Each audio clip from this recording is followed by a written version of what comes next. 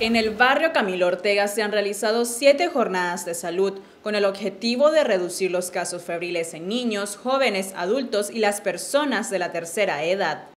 El objetivo de los compañeros y del Ministerio de Salud es destruir, neutralizar los posibles criaderos de zancudo para así evitar la propagación del dengue.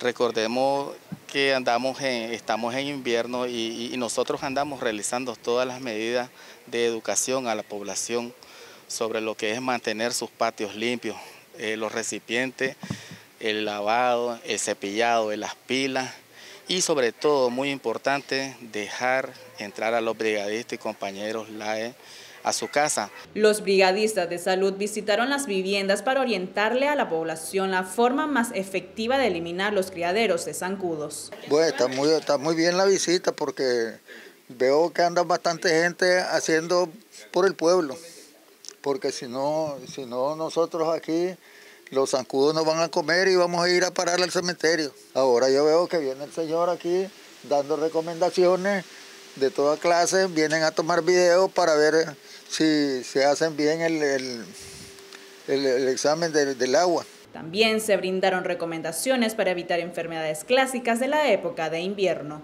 Sinaí Espinosa, TV Noticias.